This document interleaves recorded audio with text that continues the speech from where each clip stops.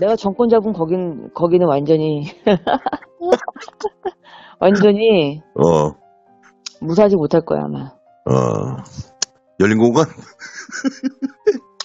열린 거기는, 공간? 거기는 이제, 이제 권력이라는 게, 네. 만약 잡, 잡으면, 음, 우리가 안 시켜도 알아서 경찰들이 알아서 입건해요. 두려웠다. 열린 공감 TV를 향한 저주 섞인 그녀의 말에는 가시가 돋아 있었다. 나는 평범한 시민이었다. 하지만 MB 정권에 이어 박근혜 정권까지 도돌이표처럼 되돌아가는 민주주의의 퇴행을 목격했고 급기야 문재인 정부에서조차 검찰 권력의 무소불위에 아연질색할 수밖에 없었다. 그래서 나는 윤석열이란 검사가 검찰총장에 임명될 때 제대로 된 검찰 개혁을 해줄 적임자란 민주진보 진영의 말과 주장을 믿었다. 하지만 말이란 참으로 허무하다는 생각을 하게 되는데 얼마 걸리지 않았다. 2020년 4월 총선이 끝날 무렵 나는 열린공감TV라는 유튜브 채널을 개설했다. 나 스스로 살면서 크고 작은 사법 피해를 당해본 바 있기에 사법 피해자들의 사연을 듣는 방송으로 시작하여 한 제보자로부터 거대하게 카르텔 옵티머스 펀드 사기 사건을 접하게 되었다.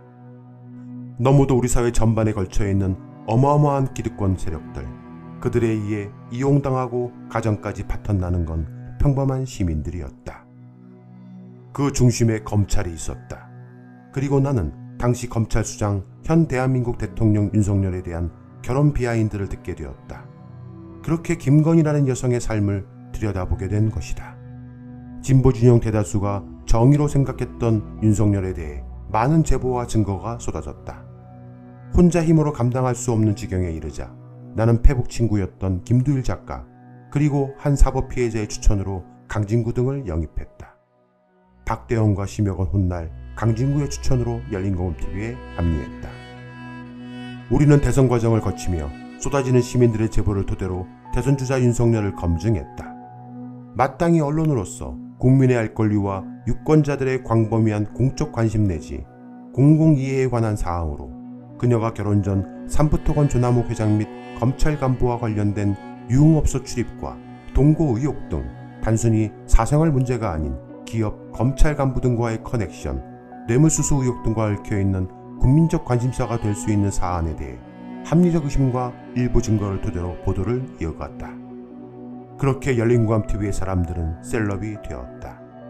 하지만 나는 우리 스스로 메신저화됨을 경계했다. 내가 늘 뒤통수만 보인 채 사회자 역할만 수행하고 모든 공과 스포트라이트를 강진구 등에게 돌린 것은 나 스스로 연예인병에 걸려 사람들이 열린공감TV의 메시지를 듣는 것이 아닌 메신저를 보고 추앙하게 되는 우를 범할 수 있을 거란 나름의 신념이 있었기 때문이었다. 대선은 0.73% 차이로 끝났다. 온 힘을 다해 이른바 본부장으로 알려졌던 윤석열과 김건희, 그의 모친 최은순 등에 대한 각종 의혹들을 보도했지만 유튜브 알고리즘의 특성은 보는 사람들에게만 추천하였고 그 결과는 참혹했다. 이른바 삶이 더 중하고 정치에 관심 없는 중도층으로 불리는 사람들에게 진실을 전달할 수 있는 통로가 필요했다. 그렇게 나는 시민 포털의 필요성을 깨닫고 미국에 서버를 두고 시민들이 스스로 자발적 운영을 할 수 있는 디딤돌을 마련하기 위해 한 달간 미국으로 출장을 떠났다. 나를 회사 엘리베이터 앞까지 배웅 나와 악수하고 인사했던 강진구 최영민 박대용. 그들을 열린공감TV 법인이사들로 2022년 5월에 임명하고 6월 한 달간 미국 전국을 돌며 시민포털의 당위성을 교민들에게 알렸다. 그 한 달, 그 한 달 만에 이사들은 불법 이사회를 개최해 나를 대표이사에서 해임했다. 이유는 어렵게 시민들이 보내준 후원금을 악착같이 아끼고 아껴 모아둔 현금 유보금 약 20억 원이었다. 그들은 나를 해임하면서 꼼짝없이 미국에서 아무런 항변도 할 수 없는 틈을 타 긴급 생방송 등을 통해 구독자와 시민들에게 나를 쓰레기로 만들었다.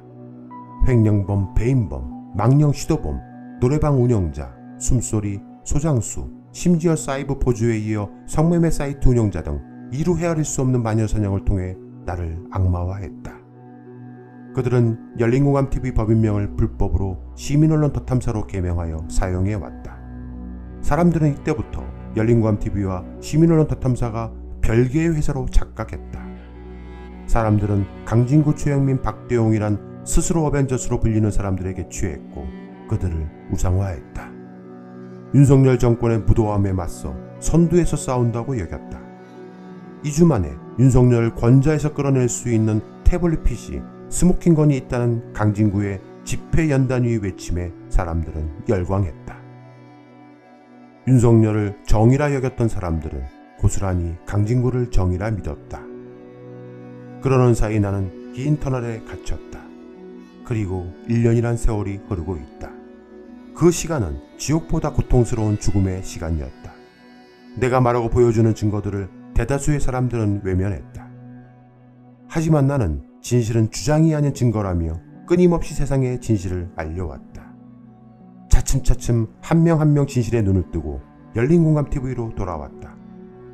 경영권 관련 모든 소송에서 승소했고 강진구 등이 법인 돈으로 나를 향해 무차별 형사고소한 사건 대부분 무혐의 되었다. 하지만 반면 강진구 등은 신주 반행했다는 심각한 배임 혐의를 자행해 기소 의견으로 검찰로 송치됐다. 급기야 유사수신 행위 광고 및 법인 현금 유보금 약 24억을 탕진한 각종 범죄 행위로 다섯 곳 정도의 경찰서에서 심층 수사 중에 있다. 뿐만 아니라 최근 최영민의 폭행 및 성추문이 터졌다. 그들은 절대 정천수는 이곳에 올 수 없다고 호언장담했던 시민언론 덧탐사 법인을 버리고 뉴탐사라는 정체불명의 유튜브 채널을 개설하고 운영 중에 있다. 그리고 여전히 사람들을 현혹한다. 그들이 지난 1년간 특종이라 떠들었던 청담동 술자리 의혹은 허위 뉴스로 판명되고 있으며 이로 인해 일개 법무부 장관인 한동훈을 여권 대선 주자 1위까지 몸집을 키워줬다.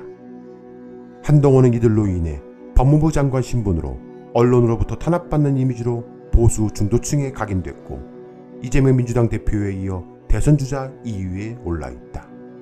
한동훈 입장에서 이재명만 제거하면 스스로 대선 주자 1위에 오를 수 있는 절호의 기회를 얻게 된 것이다. 왜 한동훈의 검찰이 기를 쓰고 이재명 죽이기를 하는지 사람들은 여전히 모른다.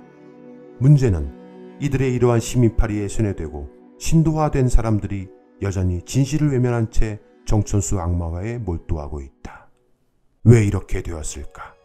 한때 동지라 여겼던 그들이 왜 이렇게까지 나를 쓰레기로 만들고 이재명 조국 한명숙에 비할 바는 아니지만 그들과 똑같은 악마화란 프레임에 가뒀을까? 이제 법의 절차와 순리에 의해 법인을 되찾게 되었다. 하지만 한번 내게 등을 돌린 사람들의 손가락질은 멈추지 않는다. 나는 결심했다. 열린공감TV 시민언론 탓탐사 법인을 정상화하면 나는 전문 경영인을 위촉해 제대로 된 탐사저널 채널로 만들겠다고 다짐했다. 나는 단 한 명의 PD로만 남을 것이다. 만일 이 기나긴 어둠의 터널에 빠지게 만든 이가 열린공감TV 거기 어떻게 망해가나 봐라고 말했던 그녀의 말대로 진행된 것이라면 반드시 그 진실도 밝혀낼 것이다. 그리고 반드시 윤석열 대통령은 그의 부인 김건희로부터 시작된 처가 의혹으로 그 권좌에서 내려오게 될 것이다. 대한민국의 낭만주의 순수 서정 시인 유고는 자신의 페이스북에 다음과 같은 글을 남겼다. 원나라를 멸명시킨 명예 기록에서도 원나라를 망하게 한 것은 기왕후다 라고 명시되어 있을 만큼 그녀의 월권과 독단은 지나친 것이었다. 황간을 통한 측근 정치와 기시 일족을 앞세운 고려 내정의 분탕질, 민생을 파탄이 되게 할 만큼의 철매피한 부패, 공민왕의 반원개혁 의지를 무산시키려는 숱한 음모와 공작 등은 원나라뿐만 아니라 고려의 마지막 분투마저 무성하게 만들었다. 권력을 한 개인의 사욕 실현과 보복의 수단으로 이용한 기왕후의 말로는 과연 역사에 그 흔적조차 남지 않은 죽음으로 쓰러져 있다. 권력의 정점에 이르렀으나 그 권력을 부궁정벌에 삿된 화장기 정도로 여겼던 오만과 독선의 민낯에는 측은하고 가련한 컴플렉스가 장착돼 있으리라고 나는 감히 짐작하고 동정하게 된다. 권력은 그래서 정상적이고 건강한 철학과 비전을 갖추지 못한 자들 손에 쥐어지는 순간 지적만도 못한 불륜의 악취를 뿜게 되는 것이다. 오늘도 나는 그 악취를 견디기 위해 또 어쩔 수 없이 술집으로 간다. 나라도 초에 악취가 진동하니 아, 이 몸이 낯을 마심도 역분이 있었다. 라고 적었다. 김건희 씨, 열린공감TV는 당신의 권력에 결코 무릎 꿇지 않는다. 부러지고 꺾일지언정 결코 휘어져 고개 숙이지 않겠다. 진실 앞에 두려움은